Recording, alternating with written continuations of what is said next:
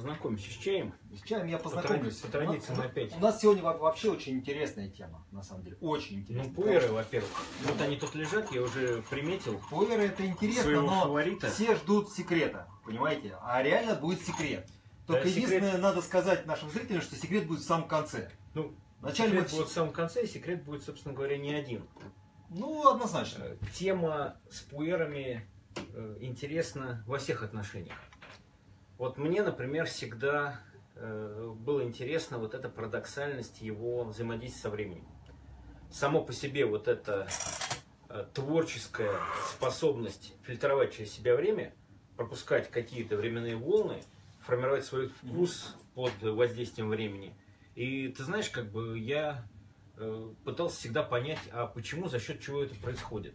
Ну, вроде есть вот это волшебство, проявляется во вкусе, в аромате, цвете настоя, и вроде бы смысла копаться в этом нет. Но интересно, когда ты понимаешь, почему это происходит. А происходит это потому, что сам пуэр изначально, будучи сделанным чаем, во-первых, там особое сырье, ну, как правило, качественное лесное, а во-вторых, в пуэре есть еще, засыпаем, Э, удивительная Ух. особенность, что в первичной базовой технологии лист слегка ферментирован. Ну, вот это знаменитый, как китайцы называют, шайтин, высушенный на солнце чай.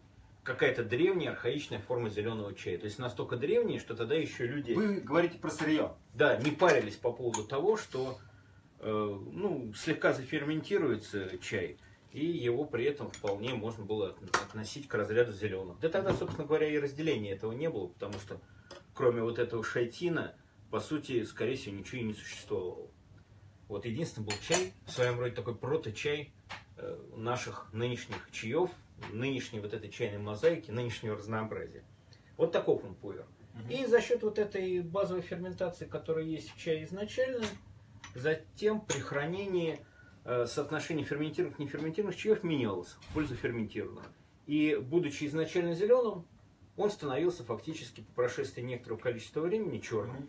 И еще в пуэре есть какое чудо, чудесное свойство, что проживая время, он, э, ну условно, конечно, э, проходит э, все виды и все разнообразие китайского чая. То есть, когда пуэр молодой, только что сделанное, это словно зеленый чай или какой-то слабо ферментированный улун. Когда он постарше, чуток, в нем что-то появляется сродни желтым чаям. Когда он еще чуть подстарше, он входит в возраст улуна. Мне тут напоминает, опять же, вот этот тему возраста. Э, Был такой и есть, собственно, конечный дом, Леопольд Гурмель, за- замечательный, во Франции. Его называют коньяк винодела. Мгм. Вот он свои бренды называл по времени и соотнесению времени с тем или другим качеством аромата. У него был там время цветов, время специй, э, разные как бы э, взаимодействия вот этих конечных спиртов и времени проявляли в разный период своей жизни разные качества. Также и чай.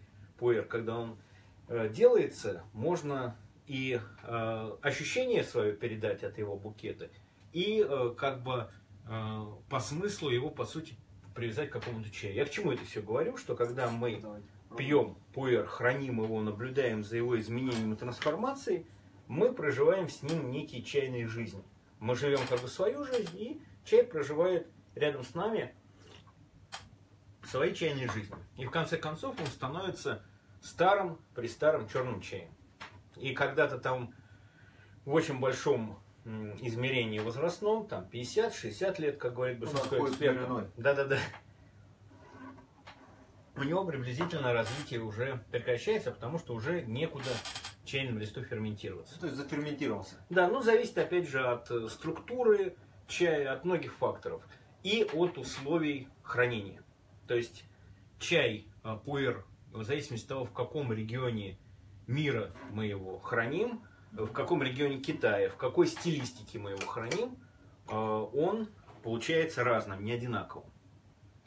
Понятно. Но про регионы я бы сейчас пока не стал говорить, я бы сказал бы несколько слов а, о том, а, какой в Китае на это взгляд. Вот в Китае есть два стиля хранения чая, пуэр. Есть влажный, его по-другому называют гонконгский, потому что он Да- был а придуман Гонконге, еще и вот, сухой, или тайваньский, потому при- что он был придуман Предваряя вот то, что вы сейчас будете говорить, а, мы говорим о шу, о шенах или неважно. Мы говорим сейчас, ну, я думал, на самом деле, когда говорил о шинах, конечно, Мгм. особенно вот об э, эффекте вот этого проживания жизней и разных чайных состояний. А, Но в шупуэре процесс взаимодействия со временем тоже происходит. Вот, То есть, э, когда его- разное, ну, да, когда его- то. Когда его сделали, э, он должен какое-то время полежать. У него должна уйти скирда, запах скирды, то есть запах того, как чай делали. Вот. э, И он какое-то время должен полежать, и, условно говоря, вот эта активность вот этих запахов, память технологий Мгм. должна уйти. Именно память технологий. Да, и тогда э, должен уже быть Проявиться сформирован неким букет, вкус. вкус, который в него технологам, людьми, которые собирались, думали об этом чае, когда делали, э, которые не закладывались. Эти качества уже проявляются. И потом при хранении он э, приобретает больше элегантность, мягкость, но в нем не происходит таких могучих трансформаций, как в шене. Но, тем не менее, они есть. Под воздействием времени шупуэр тоже э, меняется. И э, Прошу прощения, друзья, еще разочек хотели вам напомнить, что мы откроем сегодня уникальный секрет, но в самом-самом Я бы даже сказал, что это не просто уникальный секрет, а пугающий уникальный. С одной стороны, Пугающий, интересный. ну да, он ну, относительно пугающий, но да, его нужно знать, потому что без него, ну, Многое наверное, будет непонятно. Многое будет непонятно, да. Расскажу, на самом деле, ну, про гонконгское влажное хранение мы говорили, и про тайваньское. Об этом, я думаю, можно э, рассказать как-то в отдельном формате, потому что слишком специфическое, слишком привязано к Китаю, к миру китайского. Хранение э, выдержанного чая и к самой стилистике. Ну, одно, условно, э, скажем, это вот создание влажных условий, влажной среды при хранении, избыточной. Другое хранение – это домашнее, коллекционное. То есть там, где мы живем, там хранится наш чай. Это тайваньское хранение или сухой склад. Гонконгское мокрое – это уже специальное хранилище. Сухой склад, температура оптимальная. Я вот э, читал 29-34 градуса. Я вообще по поводу температуры, если честно, не читал, но поскольку ты читал, я тебе верю. Мне кажется, что важно, даже когда мы делаем так называемый сухой склад, Мгм. ставить прямо в шкаф, где Ну, чай, быть пару чашечек с водой. Да, да. или с чаем. Таким образом, естественно, процесс регуляции идет. Но искусственно увлажнять не нужно. Не нужно превращать э, вот это очарование естественного хранения в увлажненное сильно хранение, потому что Понятно. это Ионизация приводит к тому, воздуха, что там, э, трансформация веществ стало- может идти слишком быстро. Мгм. Мне не нравятся макроскладовские чаи. Так понятно. вот, расскажу одну очень интересную историю. И мы к секрету. Лечу я как-то из Китая в самолете Преддверие. с сумочками полными самых лучших чаев. Я их даже не мог доверить никому, чтобы их куда-то можно положить и отвезти. Помнутся, рассыпятся, что-то с чем-то перепутают. Ну, перевозка дело И такое. хочется побыстрее попробовать. Да, везу, короче. Привожу.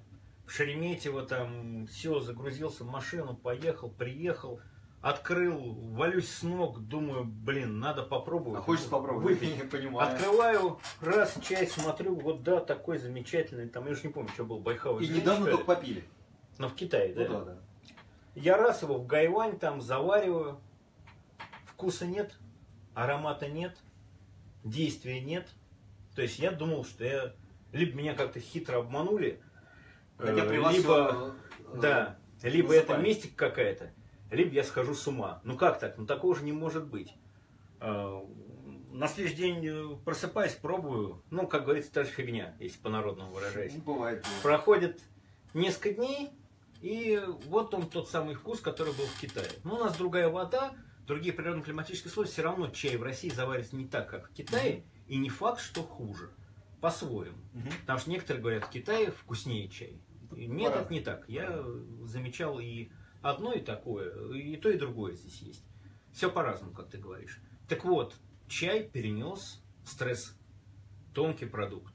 В чае много воды, много влаги. Вла- Вода тоже она структура, которая несет на себе информацию, которая от всех внешних воздействий, э, ну как сказать, страдает, она впитывает эти воздействия. А тут такая Можем не успеть. не свойственное, ну успеем для живого такое быстрое перемещение. Нужно время, чтобы стабилизироваться. Даже когда чай едет поездом, нужно время, чтобы стабилизироваться. А в пуэрах, как в чаях волшебных, это наиболее ярко проявлено. Вот расскажи Ну, секрет. Что Ну, случилось? Давайте попробуем вместе его как бы довести, да. То есть пуэр, да, он действительно уникальный продукт, который живет своей жизнью, он э, постоянно развивается, да, каким-то образом э, меняет свои свойства. И э, заметили все-таки, вот начали изучать, смотреть этот процесс, заметили очень интересную штуку, что как только блин пуэра или рассыпной пуэр перемещается с места на место, ну, условно говоря, взяли вы его в одном месте, переместили в том же городе даже в другое место, даже в том же здании в другое место, а, вы можете заметить, что он совсем другой. То есть он где-то не добирает, не дорабатывает и так далее. Реально другой. И Ну, можно- ли- либо как вариант, можно даже сказать, что где-то он может стать и лучше. Может, Что но пока не замечено было такого. Да? И э, начали дальше изучать этот феномен. Это наши с тобой цы. Ну, наверное, да. Начали изучать феномен этот и, в общем-то, пришли к тому, что эфиров. примерно через месяц э, он входит в ту стадию уникального вот э, качества, которым он был изначально. Да, то есть э, действительно он стал становится хорошим. Мы не говорим о том, что, условно говоря, взяли, ку- купили или приобрели, или кто-то подарил плохой пуэр, и потом через месяц вдруг переместив его в другое место, Хорошее место, он стал он, хорошим он стал хорош. Такого не бывает. Но когда вы берете какой-то уникальный продукт, действительно, вот пуэр купили, он уникальный, вкусный, хороший, и вдруг переместили, и что-то происходит, вы начинаете пробовать его и не понимаете, как же так? Я пробовал вот буквально, он один был, а сейчас он стал другой. Не спешите. Буквально через месяц вы с большой долей вероятности получите тот же самый продукт, а может быть и лучше. По идее, он должен быть лучше, потому что А он стал потом- старше на месяц. А потом еще пройдет время, и действительно а, образуется вот это соединение пуэра и места, которое уже само по себе станет самоценным. И у меня была такая мечта, и, собственно говоря, эта мечта не так уж и далека от реализации. Занимаясь хорошим чаем, э, как говорится, предлагать его людям, люди живут в разных местах, и потом в какой-то момент, там, через несколько лет, допустим, каждый посылает кусочек, simple, или приезжает сам со своим чаем, мы садимся и в течение какого-то времени пьем эти чаи и калейдоскоп там вот этих ощущений. Пуэр один и тот же, из Сочи, из Новосибирска, из моего любимого Якутска, из Москвы, из Калининграда, откуда-то из-за границы. Вот. Ко мне как-то э, друг прилетал из Англии, он покупал пуэры у меня в свое время давно, и в Великобритании хла- хранил, там на островах климат влажный, другой, вообще все другое. Он потом чаи назад привозил э, попробовать, они очень сильно отличались от московских. Хотя в Москве тоже климат довольно влажный, Климат умеренно континентальный, но разный, не Великобритании. Итак, друзья, Экспериментируйте, Да, экспериментируйте. наблюдайте за своими пуэрами Это не и говорит- не удивляйтесь ничему. да, радуйтесь. это не говорит о том, что в течение этого месяца, когда вы откуда-то достали или приобрели а, пуэр, в течение месяца его пить не нужно, его вполне можно пить, просто а, не удивляйтесь также, когда через месяц он вдруг станет «А, «Вау, как хорош!» Да. Поэтому просто смотрите, наблюдайте, и, в общем-то, это нормальный процесс. В чае пуэр множество странного, чудесного и удивительного. Наблюдайте за этим. Это сделает вашу жизнь богаче. Да. Спасибо.